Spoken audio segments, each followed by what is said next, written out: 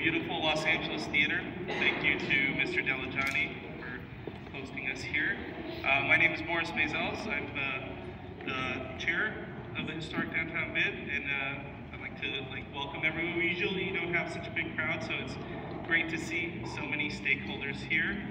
And I'd also just take like to take this opportunity to thank Blair and Paula and the Green and Clean and Safe team that have been working so hard all last year to, deal with some of the, the challenges we have in this area. But despite those challenges, I think we've excelled and been able to thrive.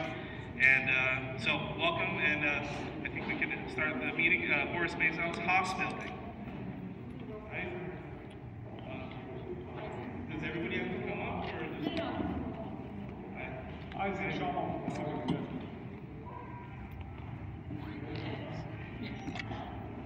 Kevin Lynn with Don Arthur took up.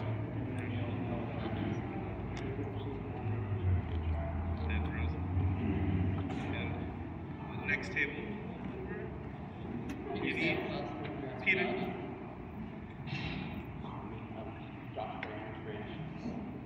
Richard Chimulian, King's Arch.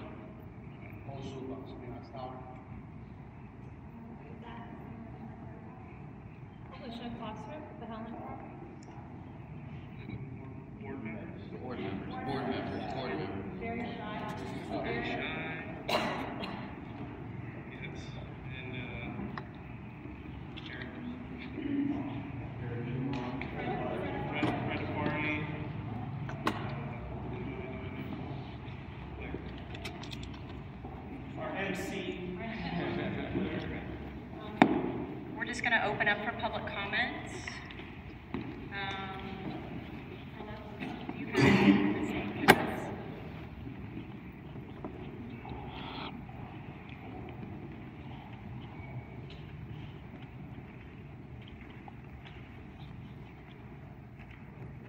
Okay, the first one we have is Kate Bartolo, Kate Bartolo and Associates.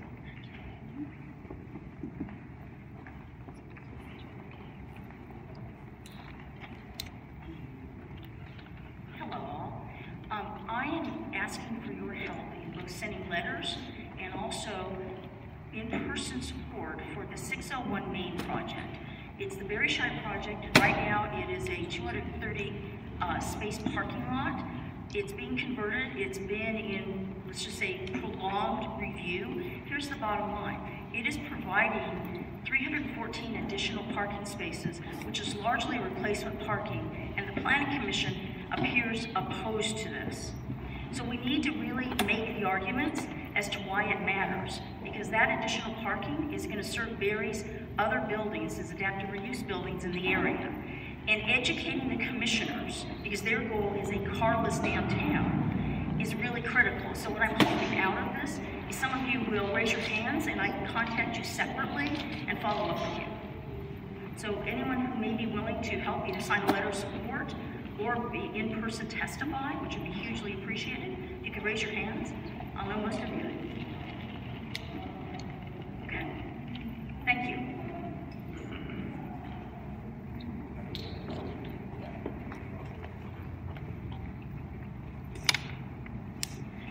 Um, Kendrick? Rustin?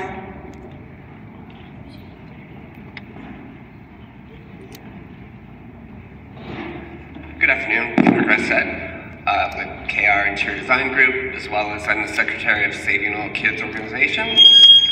And I'm just asking for the endorsement of the Historic Core Business Improvement District for redo downtown LA 2018 Historic Core. Its curb appeal and architecture involves speakers, and then design your ideal building uh, to live in in downtown LA. It will be an audience participation workshop, um, and um, it will be uh, basically involve very realistic in terms of the city hall regulations and all that kind of thing. So not just your ideal building, but one that could actually be built or be made here in downtown LA. And it will also involve the AIA of LA and a children's educational gar- garden installation.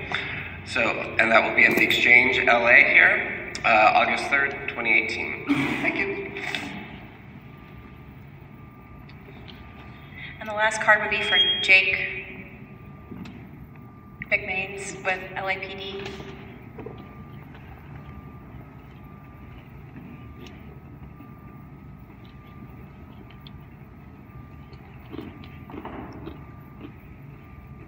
Hello, everybody. I'm McMains. Uh, I'm the acting senior lead officer for the area. Just wanted to give you guys a quick little update. Now, I understand there's a lot of frustration, you know, with crime rising. Last year, it was brutal. Um, this year, we're going a completely different direction. We're focusing um, mainly in the historic core. Uh, we're deploying an eight-man SPU unit, uh, which generally works from about, I'd say, 1 to 11 at night. Their main goal is straight crime suppression within the historic core. Uh, not only that, we're going to be deploying three cycle units about four times a week within the historic core. Um, and we are increasing, I want to say by two or three foot units also within the historic core. So the main thing that we don't want to lose, we don't want to lose the historic core. We, we saw a 20% rise in crime last year um, just within the historic core. We don't want to see that go up any higher. We want to drop it by that amount. Um, so we are putting a, a large focus back into the historic core. So, uh, and what we've seen in, in this first month is, is crime is actually going down. Um, so, is, is there any questions that you guys have for me while I'm here regarding crime issues within the historic core? Is there anything that building owners, residents, et cetera, can be doing to help make your job easier and help, you know, lighting up sidewalks or, or anything along those lines Lighting up sidewalks, if, if you're able to get security, that's great. If, if you see something right away, call it. Um, if, if it's something that's ongoing, active, don't just call and then hang up. If you're able to from a safe place, keep an eye on that suspect. That way we can be directed in. Because sometimes, you know, our call load is going up. Um, with more and more people coming in, our, our call load is, is jumping. Um, so the more help that we get from you guys to kind of direct us, it helps big time. Um, since our call load is going up, since the population is going up within downtown, uh, office operations just gave us, I want to say it was 20 to 30 extra um, patrol officers. So you're seeing about two to three cars more for calls for service per day. So, anyone else? All right, guys. Thank you. Thank you.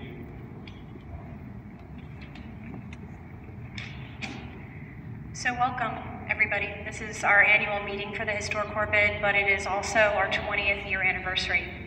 And I mentioned that to a board member today, and they were kind of dumbfounded at how quickly that time passes.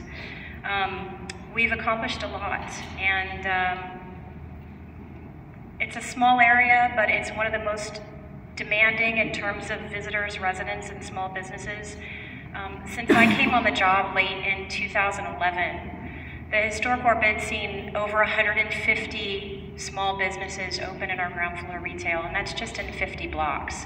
Um, it's pretty miraculous, um, and a majority of those have survived. Um, we started the first weekend farmers market for the residents, and we started out of the gate with EBT. And ironically enough, um, the EBT customers are the ones that are sustaining the market now. It's a we're holding at about ten thousand dollars a weekend, which, considering that we're not at a critical mass of residents yet, um, that's that's significant. And we have to thank Southland Farmers Market Association and Hal Tumlin for believing in us and, and, and being willing to come in and take a chance to close down a street every Sunday and provide this service to the low-income and market rate tenants that live in the, in the neighborhood. Um, due to a, the, um, the fact that we also encompass part of Skid Row, we have our challenges there. Um, and I appreciate that the board has been willing to think outside the box to order, you know, to, to um, add an outreach perspective to what we do um, because we realize that uh, law enforcement is not the way to solve um, solve this crisis. We really have to um, employ all of our connections and relationships and get everyone involved to come up with as many creative solutions, um, including permanent supportive housing and um, resources, mental health resources. So um, I, just, I really have to thank the, the board members, the alternates that come and participate every month um, take time out of their very busy schedules. These are pioneers of development in residential. These are, are people that are building a city where it was after 5 p.m. was pretty pretty quiet. Um, it's uh, we're on a, a, really fast track. Um, there's a lot of moving parts, but I've been really proud to lead this organization and see it emerge as um, a really strong bid. And I'm looking forward to the future. We're in renewal. Um, I'm looking forward to uh, a, a, the next term and seeing, you know, what more challenges we can overcome together. Um, I just I want to thank all of you. We we're, we have some plaques we're going to uh, submit to you later in the program, but um, I just wanted to take the moment to thank you guys. Um, we have the council member Jose Huizar here to to speak um, for us today, and I just want to thank him as a community partner because all the initiatives that he's um, put forth for Broadway, um, the sidewalk dining ordinance, um, he's been a, a constant uh, partner in what we do and uh, building this this neighborhood. Uh, and I and I can't tell you how wonderful it's been to, to enjoy your partnership. And I look forward to the next few years together. Um, so please.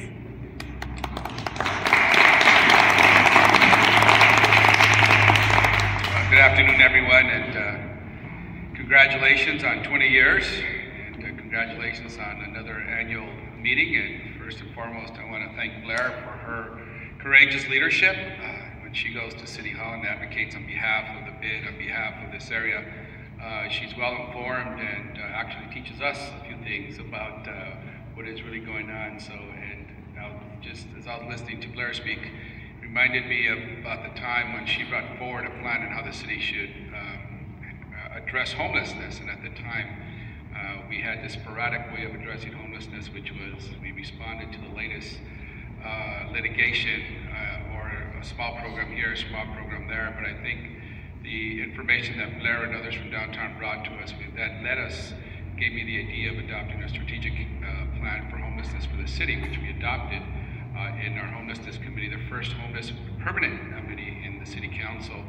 Uh, and it was created after I went to West and I said we needed a permanent committee that thinks about homelessness each and every day so it's not just this random thing that we uh, deal with. So thank you, Blair, for your uh, incredible leadership. And uh, let me tell you that uh, 20 years, uh, it's easy for a lot of organizations to, to, to go off and you know for different reasons not exist beyond a few years, but uh, this bid has stood uh, the weather of time. And not only that, but if you look back 20 years, you think about what the area was like. And yes, we have our challenges today, uh, but if you think back and you look back 20 years, um, you know, now we have a lot more activity, uh, a lot more businesses, a lot more people strolling the streets, a lot of uh, the historic uh, buildings are now being repurposed and being put back to use. And a lot of that is thanks to you and the bid and the work you've been doing. Uh, the city can't do it alone. Uh, we actually do not have the resources uh, to provide additional personnel down here. We don't have the resources to pick up the additional trash that's left out, out there. And all the work you do, not only for policy making, but the actual work has been so important in the uh, renaissance of this area. So thank you so much. Uh, and I, have had a great partnership as we moved. The sidewalk dining ordinance that we did came from some businesses here that wanted to open up and open up in the sidewalk to get more pedestrian activity. And I looked at it and realized it took somebody like two years to get that permit and cost it cost thousands of dollars. So we went to them and said, hey, look, you don't have to keep sending inspectors and charging those businesses hundreds of thousands, hundreds of dollars. You can just go on Google Earth and see what's there and save some time. And we also we shortened that to about less than six months and a lot less now. That's one example. And then the Head Start signals that we had a number of people here being ticketed for going out and putting a foot on the sidewalk. Uh, and a number of the pedestrians and residents who lived here, we worked together with a bid to come up with state legislation to make that happen. And now uh, we're on the midst of kicking off Main and Spring Forward, which will provide additional uh, pedestrian bike safety on Spring Street that will make it multimodal and safe for everyone, whether you're a car, bike, or people walking. So the partnerships we have formed have been very good. So thank you so much for all the work you've done. And last but not least, and returning back to one of the most critical issues I think that faces all of us here, because no matter, as much as we're moving forward, uh, one of the issues that we must address and get a better handle on, and because none of this, all of this will be for naught, is the issue of homelessness. And as many of you know, and I start off by saying that we finally have a comprehensive strategic plan for homelessness. We're implementing that now. The first step was to provide more permanent supportive housing on a decentralized level so that we no longer concentrated in Skid Row and other areas that have historically received permanent supportive housing. Where we also took a second step, which is we looked at public properties to see where we could place permanent supportive housing throughout the city. And now we're doing more crisis housing, which is, uh, as you see what we did in El Pueblo, working with the mayor's office, we set up some uh, trailers that will take in 60 to 70 individuals in that area for about uh, six months and give them services and put them on a path to get uh, bridge housing and eventually to permanent supportive housing. I'm hoping we can move some of that more over here. Uh, we're working on it. It's quite expensive. We're looking to cut down the cost, but we want to move that out here. But I think we're also moving in a very significant step, which is today the council introduced a motion to support what Mark Ridley-Thomas and Kathryn Barger, the supervisors, are doing in the county, and that is to change the definition gravely disabled person when they are facing mental health issues. And as many of you know, about a third of the eh, our homeless population have mental health issues, and one of the biggest challenges we have is how do we address that population when even if they're harm to themselves and others, I mean, you have to be at the extreme before our first responder is LAPD. It shouldn't be LAPD. It should be people offering social services to them. But that is what we have right now. They may change if we change the language at the state level that allows us to give those people care uh, if they refuse medical treatment and the people there see that they need medical treatment for their conditions. That's going to change the situation quite a bit because it would help get people the services they need and we will see a lot less people exhibiting erratic behavior in our streets here in, in downtown LA. So hopefully you'll we'll partner again and work with the county and the city to make sure that language is changed at the state level. It may sound easy to us because we see the effects here. We're probably, of all the state, the ones that gets the biggest impact and will benefit most by the change of that language. But it's going to be a challenge and a fight up in Sacramento, so please, uh, if we could partner, we will continue to partner that. That's something that Blair brought up in one of her initial reports years ago in the homeless report she gave to us. So thank you so much. Congratulations. We're here to serve, and I'm here with uh, my downtown district director, Joella Hopkins. Where are you? And so everybody can know who she is. Also, Lily Gross, my uh, downtown field representative, and my wife, Richelle Huizar, came with me today. She wanted to uh, get to know folks and, and, and, see what's going on and uh, continue to do the work we, that we do here. So thank you so much. I don't know uh, I have a resolution for you, Blair, but I can take questions if people want to ask questions or comments. Okay. Any questions or comments? Yes, sir. Um, uh, Councilman Louise, are uh, you talking about uh, a police officer being able to make a decision on the spot about whether or not a homeless person needs treatment that requires them to leave the sidewalks? I would leave that. We, there's a lot of uh, procedures in place that actually have court decisions and other legal issues and how that is handled. Um, I don't know yet. I don't know the answer to that, but I do know that just changing the language in wherever somebody comes in contact with these individuals is going to make a huge difference. We're just laying that out now. We're going to hear that in our homeless committee to see exactly how this law works right now, and if we change the language, how that procedure would take place. So I, I, I wouldn't want to say yes or no to your question without knowing the full answer, but in in the future, one of my reps could come after we have the hearings, if we get the legal advice from our attorneys and, and, and, and our departments, and we know what that's gonna mean, there should be those procedures, and have a presentation here, so we can be clear on that. Thank you. Yes, sir. Is the increase in the police force, is this permanent or is this temporary?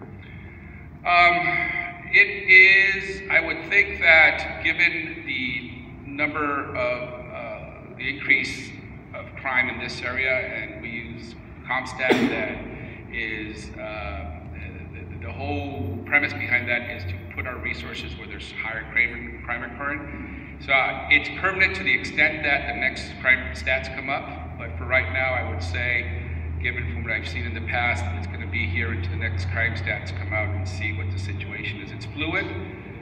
Crime rises in one place, more resources are put there. And that's why, as our officer said, uh, and we would encourage people to report any crime. A lot of times, crimes go unreported, they don't go in the system, and so we don't get the resources we need. Um, and so we would uh, like to, uh, uh, uh, yes, so they're permanent from now until the next crime stats come up. Are we looking to increase the There's, uh, I haven't seen any proposals lately. Um, I've been a proponent of uh, every budget um, deliberations. The mayor's budget is being composed right now, so uh, I don't, I haven't seen any proposals recently. Um, I certainly would like to see us hire more officers as well and have them in the streets. There's a new way of policing, and particularly in a large urban area like downtown. I mean, we have certain procedures and processes of how we police a large city, but we've been a city suburbs. And now, as we're getting more residents in the urban area like downtown, we're, out, we're also asking for us, uh, we're asking the department to do police differently, more walks, horses, bicycles, you know, things like that. That's what we need in this area. It's, I think our approach has to change as to how we police downtown. The old model of the suburban model is being trying to put in downtown, and we have to change that. Those are some talks I've had with Captain Rada, and Captain Rada is very to that, um, and he's, he's uh, he understands that. And we're all transitioning into that as well, so um, I, I support that, and we hope to see more of that. Yes, Mr. In, in the year and a half that I've lived here, I, I moved here to the historic core uh, because I love the buildings. It's amazing. Um, and of course, the crime and homeless went up. And I've tried to attract my friends in San Francisco and businesses here, but of course, the streets. Um, and it's been very difficult for me to get people to work with me because I don't have money right now. I have contacts with money, but everyone seems to chase money in LA. And um, they design all the these big developments go up and they have these fake businesses proposed. You know, the, the drawings, the renderings they do are with fake businesses. And then the businesses are set up in ways that they don't fit my friends' businesses that have need certain square footage for the, the restaurant and bathrooms and plumbing. It's all very complicated, dealing with Lambert at City Hall, historic buildings. So there's this really, there's this miscommunication with LA, and then LA has kind of a, a bad reputation. and so I'm just wondering, what, is, is there anything besides talk going on to kind of change to change this? Because I, I'm having a very difficult time, and that's my motivation for the event I'm doing and focusing on kids and trying to really help. Because there's anyway, that, To I, change, to change what exactly? To change basically the the focus of LA not being so much on money as being on social health and well-being and really changing because there's going to be more and more homeless because if you're helping the homeless once they become homeless but what about why are there more and more homeless Oh, yeah. I, I guess it's kind of a overall Yeah. i- you're talking more about infrastructure in our country, talking what, what's being done to uh, So, change that. This, this, this, to answer that it could take an hour, but let me put it this way. Um, I, I, you know, there's LA is becoming known as the city, one of the largest cities in America largest disparity happening, right? And the homeless increase that we see in LA is not unique to Los Angeles. It's national. You see homelessness increasing everywhere. You see inequality increasing in most large cities. But the question, the way I see it is, how does that city and county in this respect, because they provide health and human services, we provide safe streets and home, housing, I, I'm not so, sorry, not, not so much the homeless. I'm talking about new developments where the rendering, it's, they, in order to build these building or restore the, the historic buildings, they have to design fake businesses to get it passed through City Hall. So the floor plans and all that, they're fake. It's all the, you see these new developments go up and the businesses are empty, like Genesis, the, these permanent supportive housing. The, res, the businesses are empty. They're all set. So Yeah, yeah. Well, you know, I would say that there's plenty of available space in downtown, whether it's the historic core, whether it's new developments. Uh, we here on Broadway, for example, adopted our adaptive reuse ordinance for commercial buildings, which makes it easier and cheaper for building owners on Broadway to reuse the million square feet of available space in the upper floors. And so that gave a building owner some flexibility to not have to uh, abide by the strict uh, historical codes. Uh, and we're hoping that that allows people who are looking for creative space or whatever it be to adapt these buildings to that. Now, the new developments, that's really a place of the private market understanding what the demand is. Uh, that's beyond the government scope, right? When new developments come up, we suggest things. Our office, the planning department, different people suggest what we think may work. And we've done that quite a bit. We say, well, instead of doing creative office there, why don't you do retail because there's more need for retail there, or in retail instead of retail. That we suggest those things, but that's a private marker market dynamic that you know we do what we can to suggest things to people. At the end of the day, if somebody builds something new and they can't lease it out, if that's something beyond us. We could help them and let people know and make connections, but I wouldn't know how to correct that in the private market. so. I would like to say something about that in a very small scale. But just the supportive housing places, those are businesses that were created with money from the city. I understand that other business owners that invest their own money have the right to do whatever they want with it. It's their space. Yeah. Uh, but it would be nice to see the city get involved in filling up or encouraging that since the, they came to the city for money to build these places because uh, you have the Rosslyn that's empty in the bottom. You know, you have, um, you know, like he mentioned the new Genesis. But those, those maybe we can do something on a bigger scale, but maybe just here and there, Yeah. do a little something.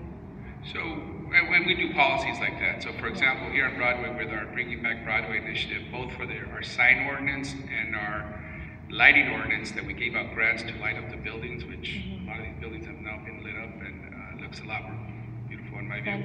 But we say you have to be fully occupied in, uh, to take advantage of some of these policies, right? So we, we encourage through the policies, at least what we've been able to do here, to do something. But you're right, I mean, the government could intervene. Just, just like with that. the ones that um, the government helped create. Yeah. The ones Yeah. that, you know, if it's someone's private uh, development, they should be entitled to do whatever they want. Yeah. But, you know, One more question over here. Um, it was incredible to see everyone out for Night on Broadway, people who had events downtown before, um, and businesses with lines block in, theaters being reactivated. How are you tracking that progress and how much money comes into the neighborhood for an event like that? Um, and how are we able to continue to do more events like that for the neighborhood that benefit the businesses here? Great, thank you. Um, well, you know, we just finished our 10-year anniversary of our Bringing Back Broadway initiative. When we started Bringing Back Broadway 10 years ago, we gave ourselves a 10-year limit, and we set milestones and benchmarks of what we're going to achieve. And we think we achieved everything we wanted to do, both from policy and program. Program includes a streetscape plan that we saw here. We did the bollards, et cetera, but at least we have data on, you know, where streets are going to extend. So, and the streetcar is coming later than we anticipated. All the money is there for the streetcar. We just have to pull down the money from Metro because Metro is not going to give us our $200 million until the year 2050.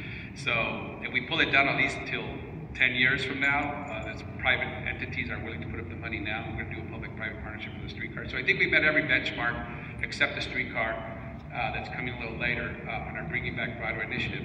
And the reason we started Night on Broadway four years ago was to bring people to rediscover the theaters, rediscover Broadway, and it's been a tremendous success. Uh, the first year we had about 5,000 people, the second year 35,000 people, the third year 65,000 people, and, and now uh, the numbers we got is that there were 250,000 people who came to Night on Broadway this Saturday. Uh, and throughout the event, throughout the event, at one time, at the peak, you had between 120, 240,000 people on Broadway, rediscovering businesses, uh, theaters, etc. Um, and so Night on Broadway, we think, has also achieved what our intent was for people to rediscover the beautiful theaters. Hopefully we get more programming here and, and they, they see businesses, they come back and visit the businesses another time. Um, and here's where we are. We, we, uh, we tracked bringing back Broadway. We hired, uh, Beacon Economics. We hired a firm called Beacon Economics that studied the Bringing Back Broadway initiative for 10 years. We have a report. If anybody wants to see the report, uh, contact Joella. And it showed us that with the Bringing Back Broadway initiative, we had a, a billion dollars, additional billion dollars invested on, on Broadway. It shows how much more jobs were created, how many more people. So we've tracked that, and we've said, even looking at quantitative data, aside from achieving our goals that we set out, it's been a success from an economic point of view, right? Because it was government coming in saying, let's spur this a little bit more. And that's why we started bringing back Broadway, because we saw revitalization happening throughout downtown, and Broadway was a little, just needed a little more you know, and so government coming in, spurring it a little bit, and we got that. So we got the, the economics for bringing back Broadway. For Night on Broadway, we track it. We hire a firm that gives us demographics, money spent. You know, I don't know how they do this. They take samples and they, extrapolate from that. Um, and so, uh, and we, we also look at um, Night on Broadway and, and what it means economically, what it means demographically. The demographics, we use it, this is very important here, to try to get sponsorship for the following year. Because when we first started Night on Broadway, I didn't want it to be a commercialized event. I didn't want all this, nothing against Coke, but these Coke signs or, you know, whatever signs all over the place. We used Clif bars for the silent disco because we, we, it was getting expensive and we really wanted it, so we just got a sponsor for that to pay for silent disco. Um, but I think right now we have put more public money in it than I would have liked. I want to put more, have more private money come in to sustain this for the long term. So we're going to get back those reports fairly soon. Uh, we're going to get back some final uh, data, and, and, in about a month, we're going to have discussions as to whether we could or could not have Night on Broadway next year. That's the reality. Um, and so we may have to go more towards quote unquote commercializing the event, but hopefully having it more uh, sustained by the private sector more than the public sector. So that's where we are with that. But we do collect data. And I thought it was amazing. Somebody told me there's more people here than Coachella, right? At the event.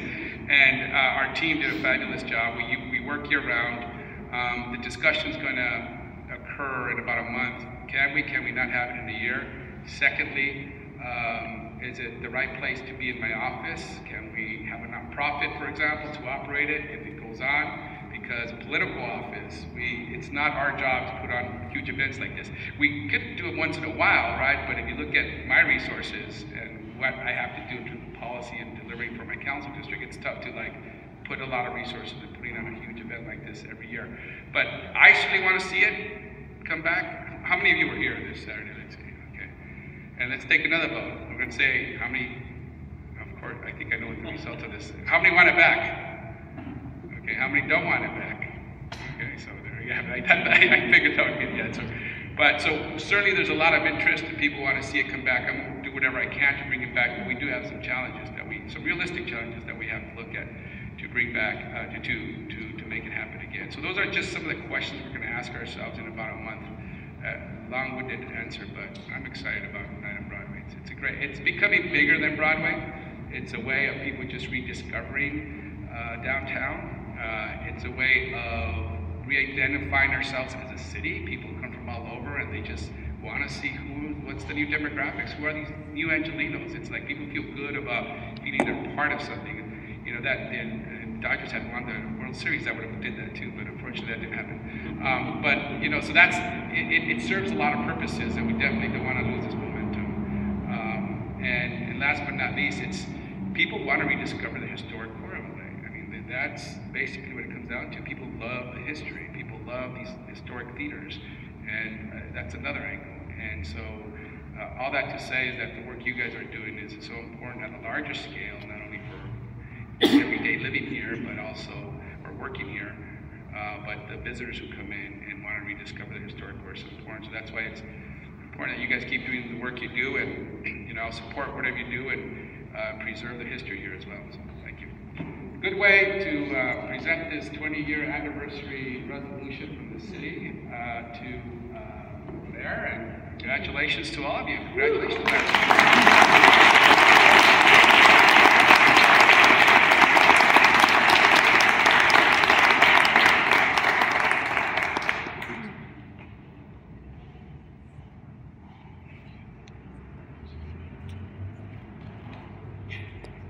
And last but not least, to answer that question, the mayor's ha- has an economic development team that could have, they put people together. Uh, when new businesses want to come and locate in Los Angeles, large or small, the mayor's economic development team helps match that, and they have a good sense of what's there. And there's a lot of tech companies talking about coming to downtown, which is good news. Hopefully, uh, continue that trend. So, thank you. We just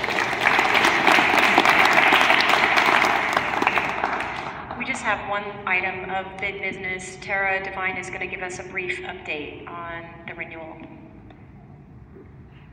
Where is she?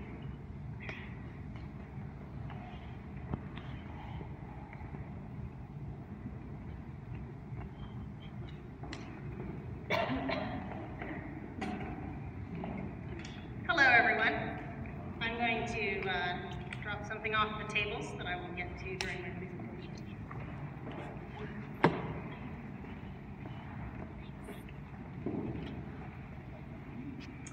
Uh, hello, my name is Tara Devine. Uh, it's nice to see a room uh, full of so many people I know and I have, I have had the pleasure of working with over many years.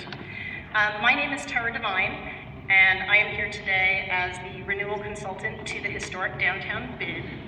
Uh, the Historic Downtown bid is currently in the final year of its current five-year term, and we are moving forward with renewal uh, for an eight-year period. Uh, one of the things that most of you probably, uh, some of you don't know about me, is that I have also been a 15-year resident of the historic core. So I have had a window seat to the activities of this particular bid. I have benefited from Blair's service to and the board and the property owner's commitment to improving this neighborhood, to making it cleaner and safer. So I want to say on a personal note, thank you very much. Um, it has been uh, a privilege and wonderful to live in this district, and I'm very proud of the work that the bid does. Bids do an awful lot with a little, and one of my jobs is to help them keep doing it. Uh, one of the realities uh, of renewal for us this time is a tough one. Uh, we're a people business. The majority of what we do is people helping people. It's labor that's out there cleaning your streets. It's uh, physical presence out there that's making your community feel safer and making people feel like people are watching. There are eyes on the street. So, last year, uh, we started seeing the increases in the minimum wage.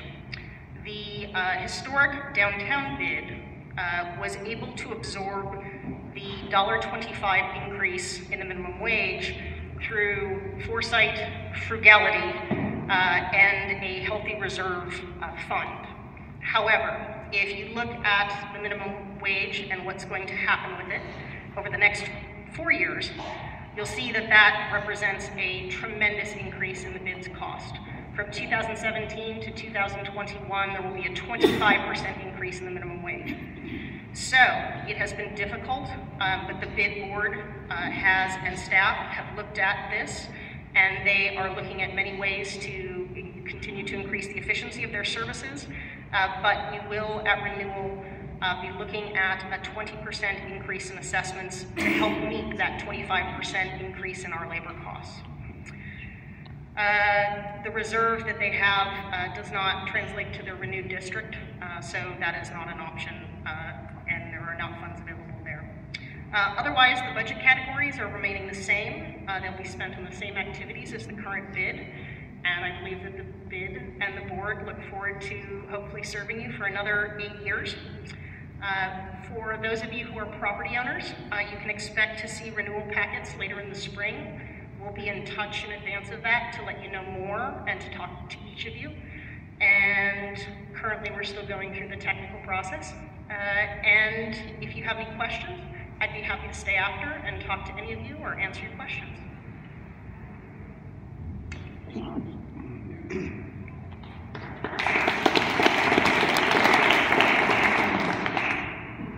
Just to let you know, the mayor's office um, let us know yesterday afternoon they will not be present today to, to give their presentation, but they will be at a bid meeting in the future to unveil sort of their new strategy um, and talk a little bit about El Pueblo and, and some of the new ideas they have um, for structuring uh, forward thinking in addition to H and HHH, um, some other ideas that they've been proposing.